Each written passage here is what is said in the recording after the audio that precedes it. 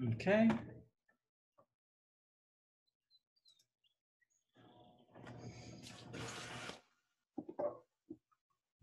Ok, entonces estamos.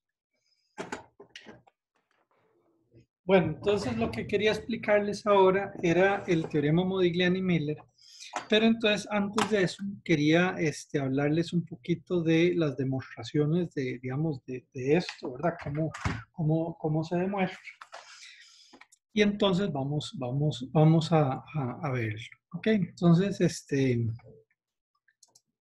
pero como les decía, les quería enseñar antes este, un par de conceptos importantes de, de finanzas, eh, de finanzas eh, corporativas, ¿verdad? Entonces, eh, pues la primera idea, ¿verdad? Entonces es, digamos, teorema Modigliani-Miller Y entonces el teorema Modigliani-Miller lo que me dice es, vea, ¿cómo afecta la estructura del capital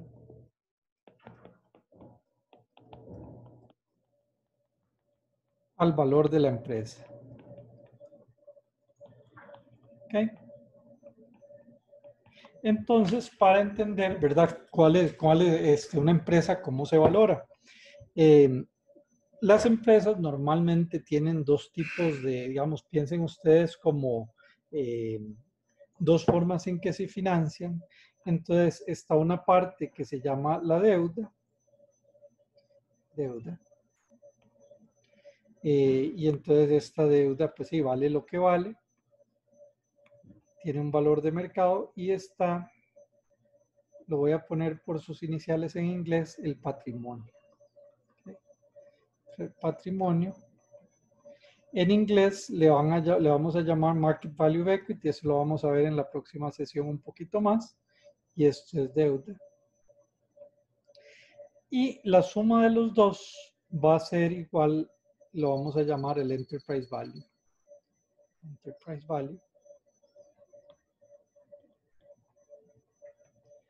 O el valor, en, en español, eso se dice valor del negocio.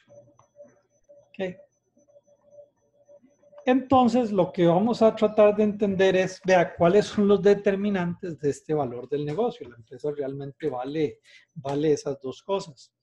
Un poquito para hacerle la analogía, lo mismo sucede con, este, ¿cómo se llama? Con las casas, ¿verdad? Una casa, uno dice, bueno, la casa vale, no sé, 20 millones de colones. 20 millones de colones se refiere al valor total de la casa eh, es cierto que esa casa está financiada aparte por mí, digamos, desde, digamos, de esos 20 millones yo puse 5 millones y 15 millones sería una hipoteca que tengo con el banco. Y entonces eso es el valor del negocio, eh, o el valor de la casa, el valor del negocio, ¿verdad? Entonces, lo que dice el, el teorema de Modigliani-Miller es que bajo ciertas condiciones, la estructura de, la deuda, cambios en la estructura de la deuda no cambian el valor del negocio. Entonces vamos a ver esas demostraciones. Entonces, ¿cuáles son los supuestos? ¿Cuáles son los supuestos del el Modigliani-Miller? Entonces, el primer supuesto es que eh, no hay costos de no hay costos de quiebra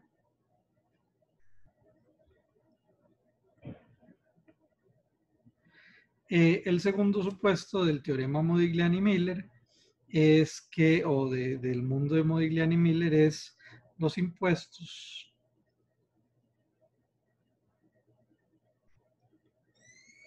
son neutros. ¿Esto qué quiere decir? En la mayoría de los países, no en todo, pero en la mayoría de los países, em, una empresa cuando, eh, digamos, eh, los gobiernos subsidian la deuda en este sentido, de que la deuda, los pagos de intereses sobre la deuda son deducibles de la renta, mientras que el pago de dividendos no son deducibles de la renta. Entonces, eso significa, eso le genera como una especie de, eh, ¿cómo se llama?, escudo fiscal a, este, a, la, a, la, a la deuda contra este, las acciones que no tienen ese escudo fiscal. Pues, bueno, ya ese es un, ese es un supuesto ahí. Después el otro supuesto, y este es importante, es que eh, se permite las ventas al descubierto.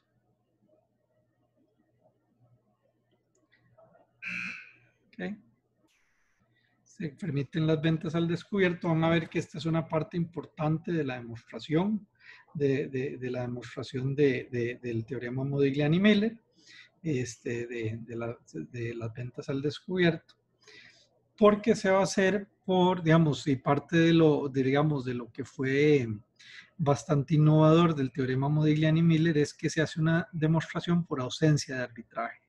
Si ya habíamos visto el concepto de arbitraje, ¿verdad? Que es eh, ganar plata hoy sin tener un riesgo mañana. Entonces vamos a, vamos a explicar eso con un cierto detalle. Se permiten las ventas al descubierto. El otro supuesto es que no hay poder de mercado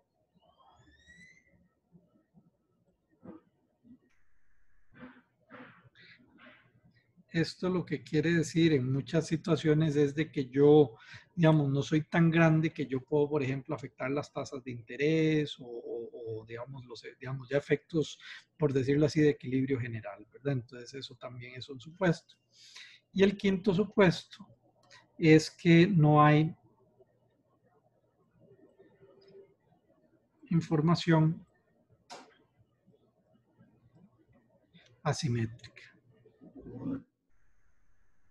en el curso, en el otro curso que estoy dando, que es de finanzas, eh, de teoría de contratos, eh, estamos trabajando con temas de información asimétrica, ¿verdad? Entonces resulta que cuando hay información asimétrica, eh, las cosas cambian bastante, ¿verdad? Entonces, este, pero aquí no, no vamos a trabajar con información asimétrica, vamos a, a, a ver las cosas con información simétrica, ¿ok? ¿Preguntas acerca de esto?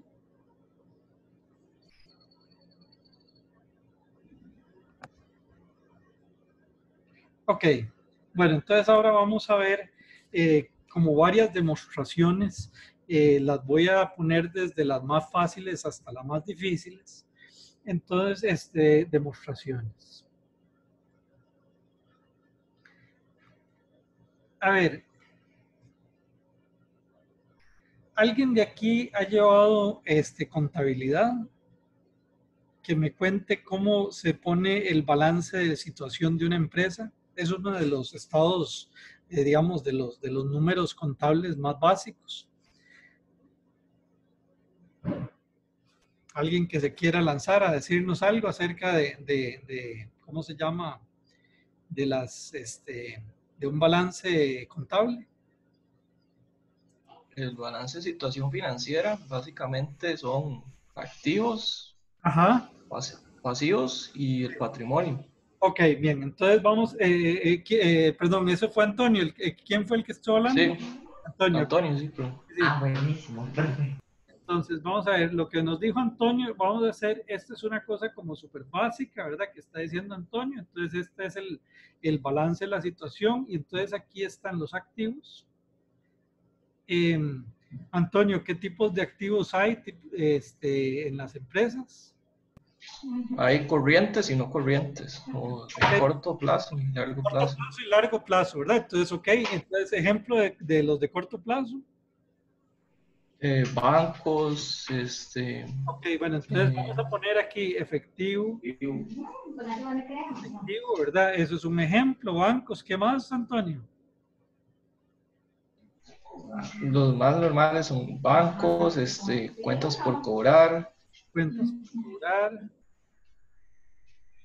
Este, mm, gastos pagados por anticipado. Sí, bueno, vamos a, pongamos así los más típicos, inventario, ¿verdad? Esos son corrientes. Antonio, lo dijiste muy bien. ¿Esos por qué se les llama corrientes? Porque se supone que se consumen en menos de un año, en el corto plazo. Entonces, efectivamente, son de menos de un año. Y hay activos que no son corrientes. ¿Cuáles son esos activos que no son corrientes? Mobiliario, vehículos. Ok, entonces, están, digamos, están los corrientes o de corto plazo y están de largo plazo. Y de largo plazo, entonces lo que voy a poner es propiedad, planta y equipo. ¿ok? Propiedad, planta y equipo. Y entonces esto lo que me va a dar aquí son los activos totales de la empresa. Los activos totales de la empresa. Eh, típicamente nosotros en el mundo, digamos, en el, con la contabilidad que tenemos, vean que lo que se pone es como de eh, activos más líquidos a menos líquidos. Digamos, es una, un poco una idea, el efectivo es fácil de liquidar, las cuentas por cobrar más o menos y el inventario también más o menos, ya la propiedad de planta de equipo pues cuesta más, ¿verdad? Entonces, tenemos del lado izquierdo los activos, del lado derecho, ¿qué es lo que tenemos? Antonio, habías dicho que sería el que el los pasivos. Ajá, igual se dividen en corto plazo y largo plazo. Ok, entonces, vamos a ver eh, lo, que, lo que son pasivos ¿Qué es un pasivo, por cierto? Nada más para los que no, no, no se acuerdan de qué es eso. Cualquier obligación que yo pueda tener. Ok, bueno, entonces vamos. Sí, entonces lo, lo, voy a poner yo como deuda, digamos pasivos, obligaciones. Hay, hay unos, activos, unos pasivos ahí que son sin pago de intereses, por ejemplo, cuentas por, eh, cuentas por pagar y todo, pero vamos a, digamos, pensar, pensemos un momento en los pasivos es como la deuda. Pasivos. Y tenemos eh, la otra cosa, Antonio, que habías dicho. patrimonio. Patrimonio, ok, patrimonio. Ok, es el patrimonio. ¿Y cómo definirías el patrimonio, Antonio? En este caso creo que serían como las acciones. Eh, sí, digamos, lo que pusieron los socios, lo que pusieron los socios, ¿verdad? Entonces, acciones, eh, efectivamente. Entonces, eh, y pues estos, estos dos números pues tienen que ser iguales, ¿verdad? Ese es como uno de los principios de contabilidad y cuando uno se hace contabilidad y no le salen los números está mal, ¿verdad? Entonces, lo que quería explicarles, ¿verdad? Entonces es, digamos, la, demostración más sencilla del eh, teorema Modigliani-Miller es la siguiente, y digamos, no es una demostración así, digamos, nada más eh, súper como empírica, ¿verdad? Piensen del lado de los activos. Los activos, el efectivo, el inventario, propiedad, planta y equipo, todas esas cosas son cosas reales, ¿verdad? Son cosas reales. Lo que son pasivos y patrimonio son papelitos, básicamente, son papelitos entonces, lo que, lo que está diciendo es, vea, si yo cambio, eh, digamos, aquí es un papelito que eh, el dueño es el Banco Nacional de Costa Rica, este es otro papelito que dice Miguel Cantillo, Simón, ¿verdad? Y entonces lo que está diciendo es, si yo por la razón que sea cambio los papelitos, le doy unos papelitos a eh, más al Banco Nacional y le quito a Miguel, ¿qué le va a pasar a los activos aquí? ¿Qué piensan ustedes? Van a cambiar los, los, los activos cuando cambio la composición de, los, de, de, de, esta parte aquí de la, de la, de la izquierda. Entonces, vean, lo que estoy diciendo, digamos, el, y eso está ya limitando algo el teorema Modigliani-Miller. Lo que está diciendo es no que estoy subiendo eh, los pasivos por nada más, sino que los mantengo el total igual, pero estoy tomando más pasivos y menos patrimonio. Entonces eso, la pregunta es si eso va a cambiar algo o no va a cambiar nada. ¿Qué piensan ustedes? Yo creo que no debería cambiar los activos, porque al final la idea es como que cambien los, o sea, que no cambien los totales. Ok, efectivamente no cambian los totales. Digamos, es como una demostración muy, si por decirlo así, si tienen que ir a explicarlo ahora en el almuerzo, ¿verdad? En la casa, ¿verdad? Es el teorema Modigliani-Miller es eso, ¿verdad? Dice, vea, el valor de la empresa está dado por este lado aquí, del lado izquierdo, que son los activos. De hecho, uno podría pensar que no es solo los activos, sino el valor actual de los activos, ¿verdad? Y entonces, este, ¿cómo se llama? Yo tengo eh, eh, eso y lo que importa realmente son mis, mis decisiones de inversión, lo que vimos en la clase anterior con el teorema de Fisher, de lo que realmente importa para el valor de la empresa es si yo estoy eh, aceptando proyectos con valor actual neto positivo o no, ¿ok? Que ya lo que es este, los, este, los pasivos y el patrimonio realmente es cómo se divide digamos, de ese flujo de caja. ¿Ok? Entonces vamos, esa es la primera, por decirlo así, demostración, ¿verdad? Entonces ahora vamos a, a, ver un poquito más, este, como una, una demostración un poquito más, este, más avanzada. Entonces, esta es la demostración que hicieron Modigliani y Miller. Y Miller en 1958.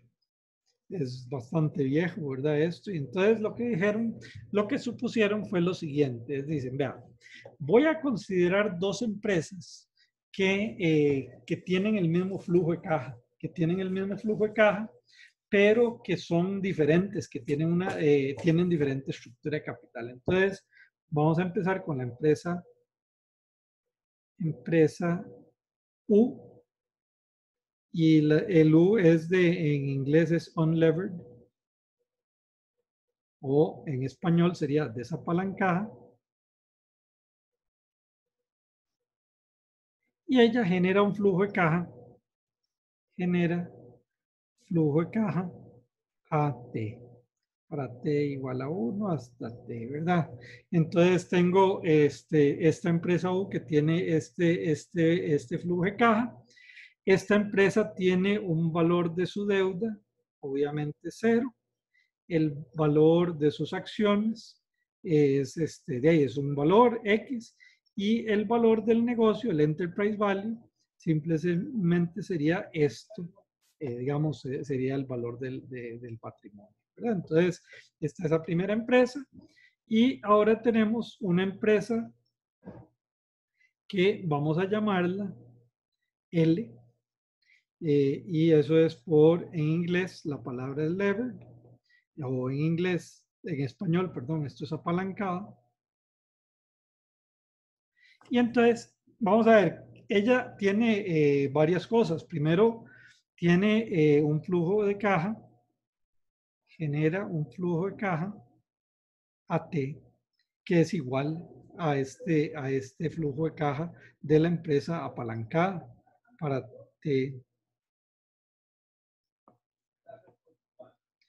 para eh,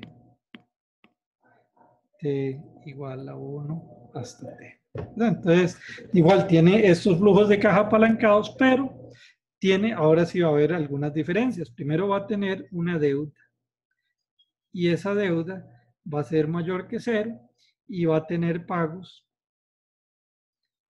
pagos que van a ser dt para t igual a 1 hasta t. ¿Ok? Entonces esa es, este, eh, tenemos esta deuda y además vamos a tener eh, un patrimonio. Eh, el patrimonio lo que, lo que va a tener, va a tener un pago que vamos a llamar los ET, que va a ser el flujo de caja que, que genera la empresa, menos eh, una deuda y los pagos que le genero a la, deuda. Perdón, ¿alguien tiene una pregunta? Ok, no, es porque está alguien sonando. Ok, para t igual a 1 hasta t. Ok, entonces ahí, entonces vamos a, a ver este, cómo se llama eh, la demostración. Entonces, el teorema lo que dice es, teorema y el valor del negocio es que la empresa apalancada, eh, el valor de la empresa apalancada simple y sencillamente es el precio de la deuda más el precio del patrimonio. ¿Ok? Entonces, ahora lo que vamos a ver el teorema y cómo se demuestra, digamos, con esta primera demostración sin mercados completos. Teorema. El teorema lo que me dice es lo siguiente el valor del negocio apalancado tiene que ser igual al valor del negocio desapalancado. ¿okay? Entonces, esta demostración se hace por contradicción.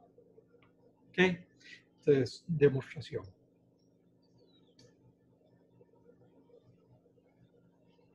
Suponga que no. Y, por ejemplo, supongamos que el, eh, ¿cómo se llama? La, este, supongamos que el valor del negocio apalancado es mayor que el valor del negocio desapalancado. ¿ok? Entonces, aquí va a haber una oportunidad de arbitraje, ¿ok? De arbitraje y vamos a ver aquí va a ser un arbitraje tipo 1. Pues, ¿Alguien se acuerda de lo que era el arbitraje? El arbitraje tipo 1.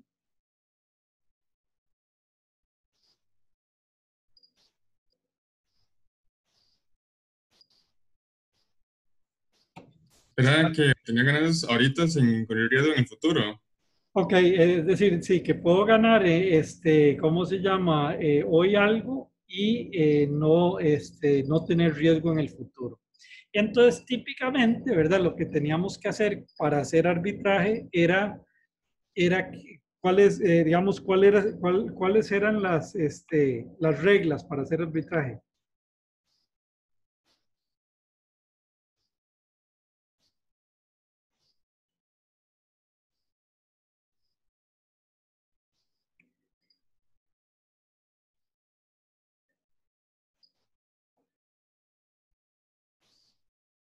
Ok, entonces, bueno, la, idea es, vea, compro lo que está barato, vendo lo que está caro, vendo al descubierto lo que está caro, y con la cartera que me queda, este, ¿cómo se llama? Hago ganancia. Entonces, aquí, ¿qué es lo que está barato? Lo que está barato es esto. Entonces, este es lo que voy a tener que comprar y este es lo que voy a tener que vender al descubierto. Entonces, vamos a ver la cartera. Entonces, va a tener varias acciones. La primera es que compro una parte de la empresa desapalancada. Ok, compro una parte de la empresa desapalancada. Eh, quiero ver el flujo de caja de cero y quiero ver el flujo de caja en el futuro. Primero que nada, si la compro, ¿eso es un flujo de caja cero positivo o negativo? Negativo. Negativo, ¿verdad? Entonces, esto me va a costar menos alfa por E. Ok, bien. Pero yo al ser dueño de esa, digamos, ese alfa es el porcentaje de la empresa del que yo soy dueño, me va a dar eh, el privilegio de tener acceso a los flujos de caja de esa empresa alfa eh, por AT. entonces, esta es la primera parte. Entonces, eh, ya, digamos, ya hicimos la primera parte de comprar, barato, de comprar barato. Ahora tengo que vender al descubierto caro. Vender al descubierto caro este, significa, vamos a ver, eh, tendría que vender qué aquí.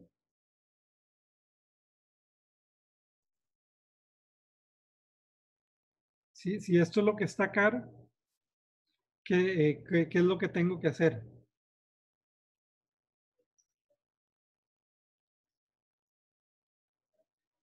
Tiene que vender DL, profe. Ok, entonces voy a vender, voy a hacer un short eh, de alfa de L. Ok. Ok, al, hacer un short de DL, y que ese es un caso especial, es como endeudarme, ¿verdad? Es decir, porque yo pido plata, digamos, pero estoy haciendo agarro los bonos de la empresa apalancada, hago un short, eso se puede, tal y como hicimos el short de las acciones, también se puede hacer un short de la deuda, de cualquier instrumento financiero. Por cierto, que eh, si, si yo hago un short, ¿qué me van a pedir el que me, digamos, el que me presta esos bonos de, del gobierno, de, perdón, los bonos de la empresa apalancada? ¿Qué, ¿Qué me va a pedir normalmente?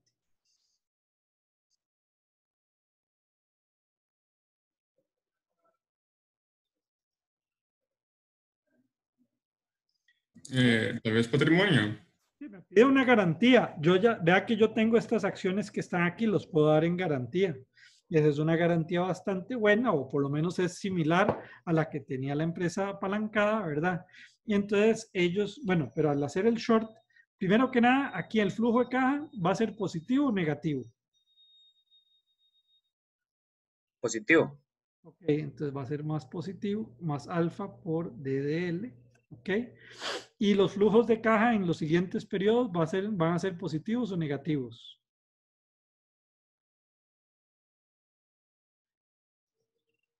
Negativos. Negativos, sí. Menos, sí, exacto. Este sería menos A alfa por DT. Bien, entonces tenemos aquí ese short. El tercer paso, como tengo que hacer un short de todo, todo lo que es la empresa apalancada, tengo que hacer un short no solo de su deuda, sino también de sus acciones. Eso me va a generar un flujo de caja positivo o negativo. Positivo. Ok, más, eh, efectivamente, más alfa por E de L.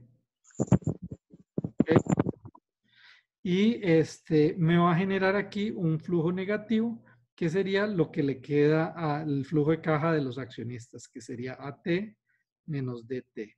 ¿Ok? Entonces, ahora vamos a ver la posición neta de la cartera. Ok. Entonces, la posición neta de la cartera va a ser aquí alfa por E de L más D de L menos E de U. Y aquí va a ser más alfa por AT menos DT menos AT más DT. Entonces, esto, la posición neta sería alfa por el valor del negocio apalancado menos el valor del negocio desapalancado. Y aquí más, y aquí lo que me queda, el flujo de caja este, vean que es- todos estos números se cancelan, es cero. Y habíamos dicho, el supuesto era que, eh, digamos, era este, ¿verdad? Entonces, si pasara eso, entonces genera posibilidad de arbitraje. De arbitraje. Ahora, vamos a ver, ¿qué sucede si hay oportunidades de arbitraje? ¿Qué es lo que va a hacer la gente? Va a hacer exactamente esto. Y entonces, ¿qué pasa conforme la gente compra más y más acciones de la empresa desapalancada y vende al descubierto más y más del- de los instrumentos de la empresa eh, eh, apalancada? ¿Qué les va a pasar a esos precios?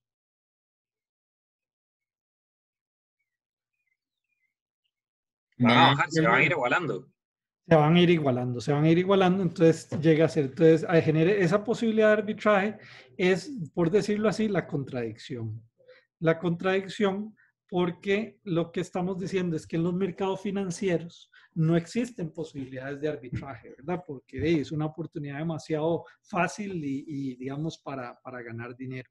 Entonces, por lo tanto, eh, pasa esto, ¿verdad? Que el valor del negocio de las dos empresas es igual independientemente de su estructura de capital. ¿verdad? Entonces, este, ok, entonces esa, esa es una, una demostración. Aquí lo que se está haciendo con esta demostración era mmm, lo, lo, que está suponiendo, una cosa que está suponiendo es que esta deuda que está aquí eh, tiene, no hay probabilidad de quiebra, no hay probabilidad de quiebra. Y entonces eh, eso se puede demostrar todavía un poco más generalmente. ¿Preguntas acer acerca de esta demostración? Okay. Está clara. Y entonces la demostración es por ausencia de arbitraje.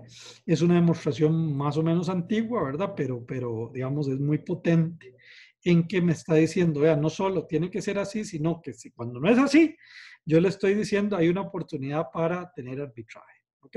¿Estamos claros? Sí, señor. Ok, muy bien. Entonces, vamos a ver, entonces ahora vamos a ver este, la demostración con mercados completos. ¿Ok?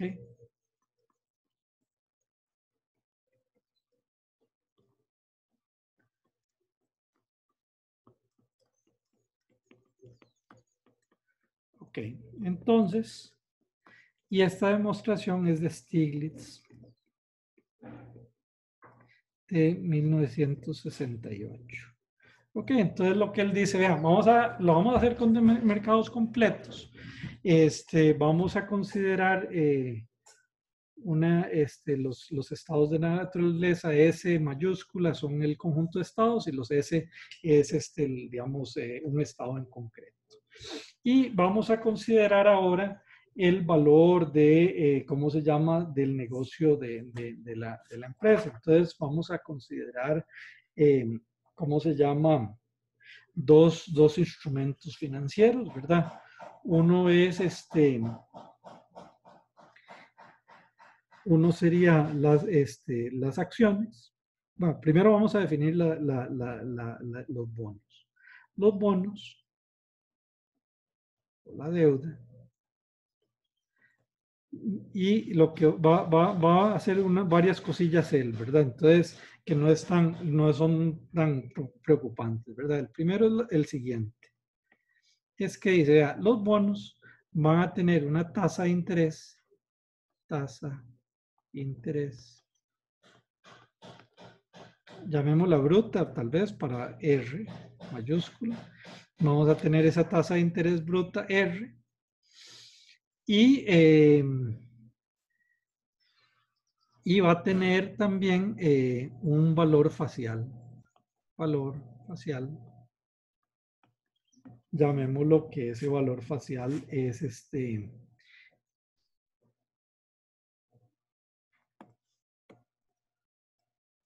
Valor facial es igual a D. Él usa en realidad, la notación que él usa es B de bonos, pero para, para mantenernos como hemos visto hasta el momento, vamos a usar el valor facial. Y entonces lo que él va a suponer es que el valor facial es igual al valor de mercado. Ok. Y entonces esto, eh, ¿cómo, se, cómo se, se, se, se, come, verdad? Entonces es de la siguiente manera. Bueno, perdón, para, tal vez para la, la notación eh, eh, lo vamos a hacer un poquito más acercándonos a lo que él dice. Entonces, él lo que dice es, vea, hay este, los estados de la naturaleza son X0 y los estados es esto. ¿ok? Es un estado, es lo mismo que estamos viendo antes, pero nada más para, para definirlo ahí, ¿verdad? Y esto sería eh, las, digamos, el flujo de caja, flujo de caja de la empresa. Y un precio eh, dado del estado de la naturaleza es P de theta. ¿Ok? Entonces, lo que él está diciendo aquí de los bonos es que esto tiene, eh, ¿cómo se llama? El valor facial es igual al, al valor de mercado. Y entonces aquí tenemos que considerar varias, varias situaciones con los bonos y, y eso es lo que lo vuelve como interesante. Entonces vamos a ver, la primera cosa es que imagínense que X es mayor o igual a R por D. X teta. Entonces, eh, voy a ponerlo más bonito.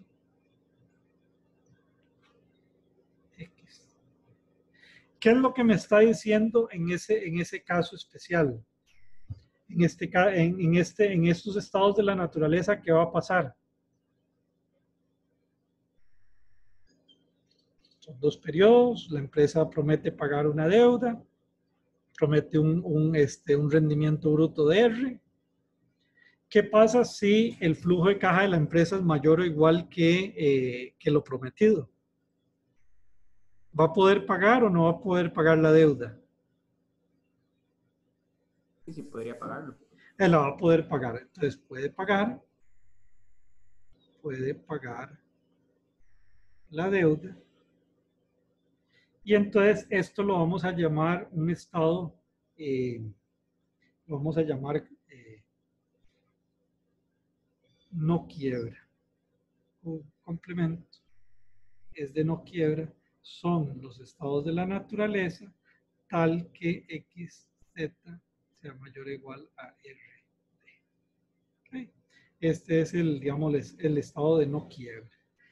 El que me interesa es ver esto.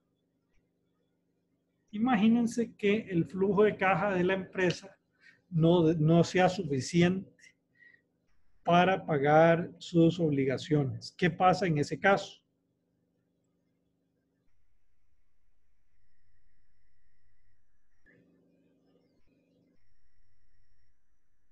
Eh, se quiebra. Ok, entonces, entonces va a quebrar.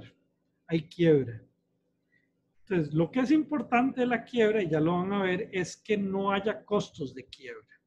Entonces ya ahorita después vamos a poner los, los, este, los flujos de caja, pero lo que está, lo que, y entonces este sería un, esta, eh, un conjunto de estados de la naturaleza tal que X, Z sea menor que RD. Esto es quiebra. Esto es quiebra y esto es no quiebra. Entonces vamos a ver los flujos de caja. Flujos de caja. Entonces, de los eh, acreedores. Entonces, los flujos de caja de los acreedores, llamémoslos de ¿qué van a hacer? Van a hacer R por D para todo, eh, ¿cómo se llama? Eh, Z en estamos. Y para los estados donde no sea, eh, donde, perdón, en Q de, de, en QC, de no quiebra. Y en el caso de quiebra, ¿qué pasa normalmente cuando una empresa quiebra?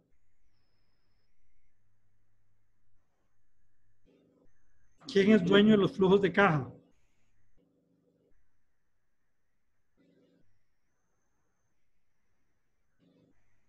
El banco. El banco, ¿verdad? El, el acreedor. Entonces está el acreedor. Entonces el acreedor va a recibir X, Z, para todo Z en. ¿Ok? Ok, y es, aquí es donde está un supuesto clave, es que va a recibir todo el flujo de caja. Normalmente eso no es totalmente cierto porque algo del flujo de caja se desaparece porque uno tiene que pagar abogados y contadores y alguna de esa plata también desaparece de camino, ¿verdad? Pero, pero aquí vamos a suponer que, que, que, que, que pasa esto, ¿ok? Entonces, una vez que tenemos esto, ¿cómo podríamos valorar este, con mercados completos la, este, la deuda? Es un instrumento complejo, como están bien. ¿Cómo se valoraban este, los, los instrumentos, este, cómo se llama, complejos? En un mercado completo.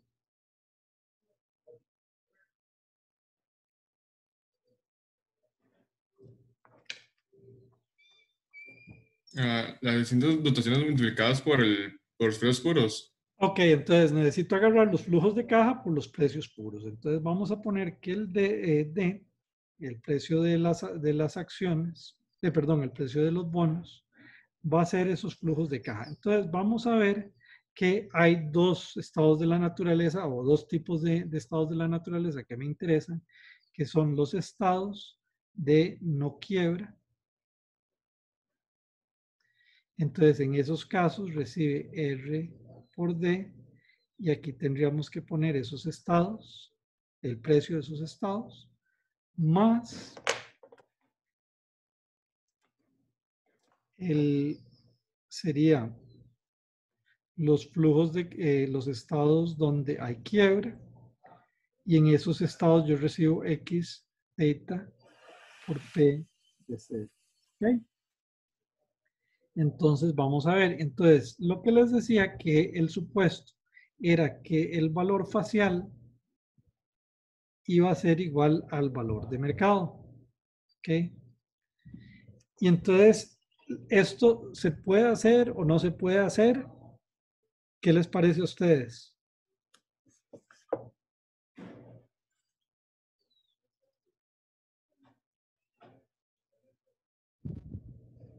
A ver, ¿cuántas, eh, en, esta, en esta ecuación, cuántas variables tengo yo de control? ¿Cuáles son las variables que yo puedo manipular, por decirlo así? Mejor dicho, ¿tengo alguna variable libre aquí?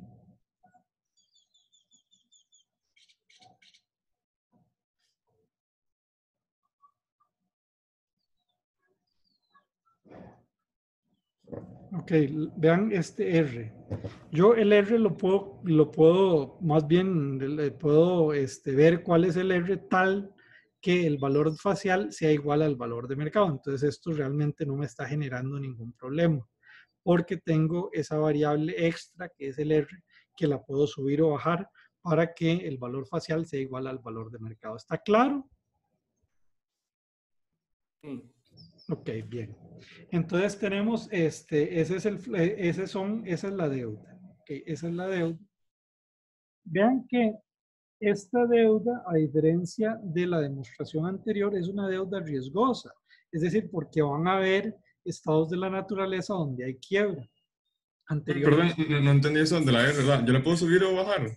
Sí, digo, porque, digamos, yo, digamos, el- lo que estoy planteando es una situación donde yo digo, lo que estoy pidiéndole es que el valor facial sea igual al valor de mercado. Eso, de ahí. Y entonces uno dice, sí, sí, pero es como que les está sacando un conejo de- del sombrero. Pero acuérdese de que yo puedo, digamos, yo lo que es diciendo eso, entonces dice uno, sí, bueno, ok, si eso es así, tengo que eh, entonces poner el R tal que eso vaya a ser del caso. Aaron, no sé si está claro. Es, es que, no sé, como un supuesto era que no había poder de mercado, yo pensaba que, que ya la R estaba dada. Ah, no, no, digo, porque la R, digo, el poder, lo que, el poder de mercado lo que no me permite es, por ejemplo, cambiar el RF o, digamos, el- la prima de mercado o lo que sea, eso no lo puedo cambiar. Pero yo, una empresa, hey, yo puedo decir, yo, hey, yo soy Costa Rica, yo ofrezco esta tasa de interés, el 10%, ¿verdad? Y ya, digamos, el, eh, piensen, este R no es como el rendimiento del bono propiamente, sino es el cupón que yo estoy ofreciendo. Aaron, no sé si eso queda más claro, si pensé en el R. Ya, super listo, gracias, profe. que- perdón, Aaron. Ah, sí, súper bien, ya, ya entendí, muchas gracias. Ok, bien, ok, bien. Entonces tenemos esta y es deuda riesgosa. Ahora lo que queremos ver es el valor de las acciones. El valor de las acciones eh, va a ser la siguiente. Ellos van a tener un flujo de caja X ce- eh, theta menos RD para todo estado de la naturaleza donde no hay quiebra. Es decir, ellos reciben, por decirlo así, lo que queda. ¿Qué pasa? Ahora sí, esto sí me interesa verlo. ¿Qué pasa cuando hay quiebra?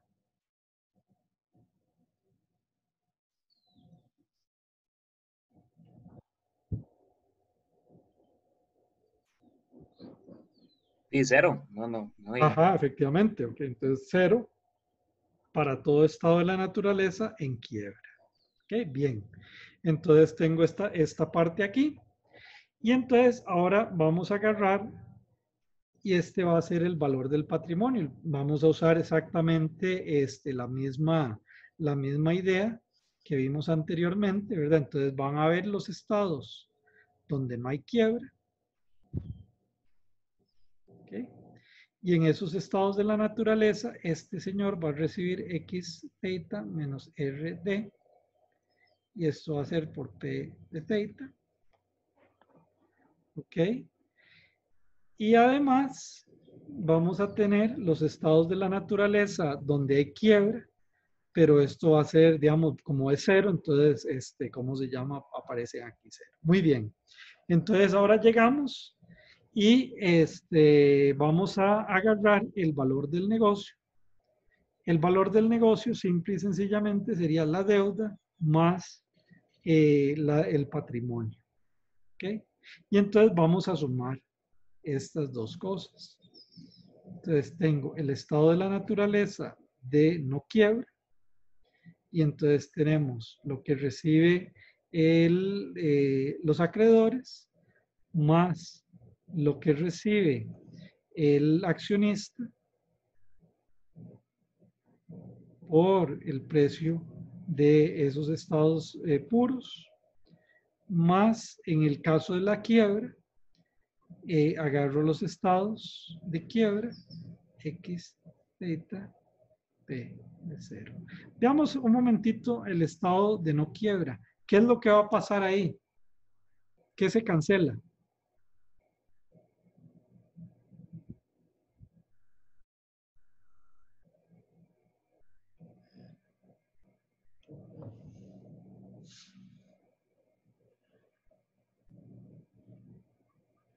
En esos flujos de caja, ¿qué es lo que se cancela? Eh, lo que paga por deuda. Ok, la, R- la RD se, causa- se cancela aquí y aquí. Y entonces lo que me queda es el valor del negocio, es en los estados de quiebra, perdón, de no quiebra, por x theta p de 0, más los estados de quiebra,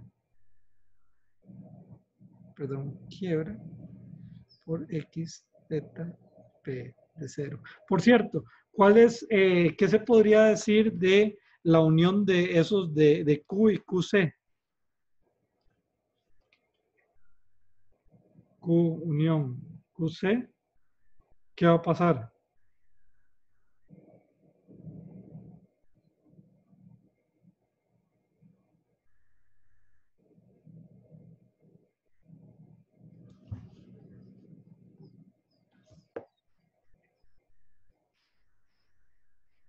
Alguien que se anime. Es decir, tengo, estos son los estados donde e, X es mayor o igual que RD.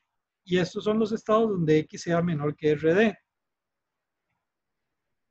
Entonces, la unión de esos dos, de este Q y QC, ¿qué va a dar?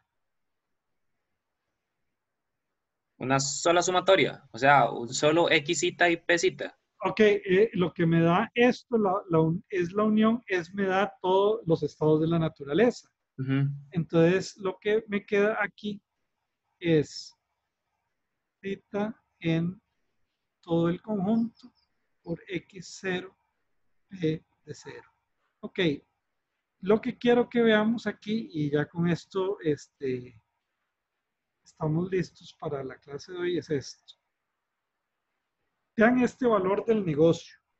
Este valor del negocio es, tiene esta fórmula. En esta fórmula, en algún lado aparece la estructura de capital de la empresa. No. No.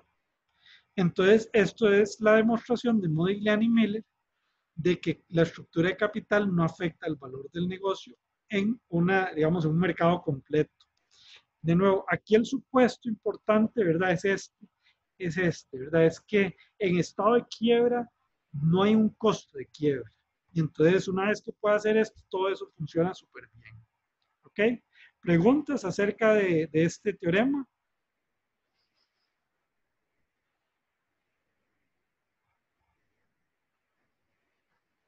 Muy bien. Bueno, entonces este, la clase de hoy la vamos a terminar 15 minutos antes. Igual nos vamos a ver a las, a las, este, a las 11 y media para seguir ya, para empezar a ver acciones. ¿Les parece? Perfecto, gracias. Bueno, nos vemos. Hasta luego.